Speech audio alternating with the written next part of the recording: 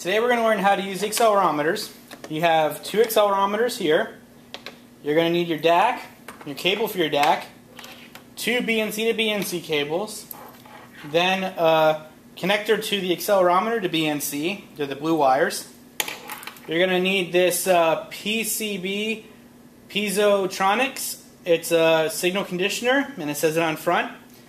And then you also need the little transformer for it that plugs into the wall, and the cord that plugs into the back of it. So the first thing we're going to do is first plug the wire into the accelerometers. So you're going to go ahead and open the box. This may already be done for you. They may have a set of weights with them already attached to it. If it's just if it's done like that, then you're just going to connect the wire to the one already attached to the weights. So again, you may have a weights with the accelerometer already attached to it, so you're going to want to go ahead and uh, see if it's not in the box to check the weights itself.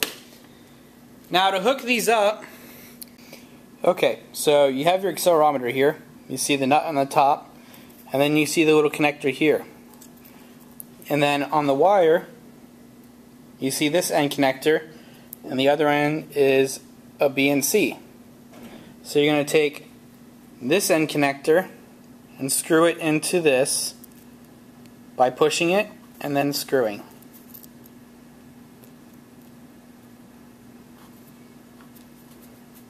And make sure it's tight, and that's how you attach it to the accelerometer.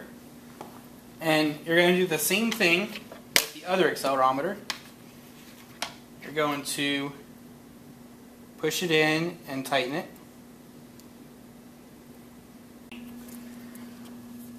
Once you have your accelerometer hooked up, you're going to take the BNC cable that's connected to it, and you're going to connect it into the channel 1 ICP port.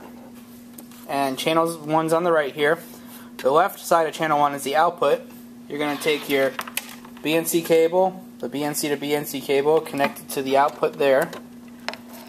Then, you're going to take the other end of your BNC cable and hook it into the AI0 port on the DAQ. Then connect the DAQ to your computer using the USB cable.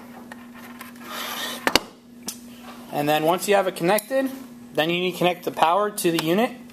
And you want the connector oriented this way with the five pins on the bottom. And then you just push it in.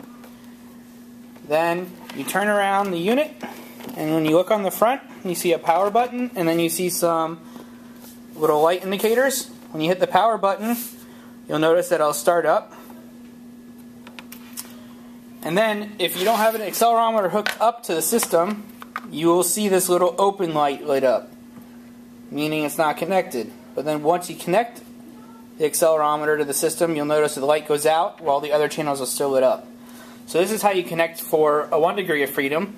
And if you want to do a 2 degree of freedom, then you just go on the back side, take your other cable, connect the BNC into the ICP port on this channel 2, then take the other BNC to BNC cable, connect the output to channel 2, and then connect that to the AI1 port on your DAQ. And that's how you would connect two accelerometers. And then on the front, you should have two lights without them saying open, with the light open being on.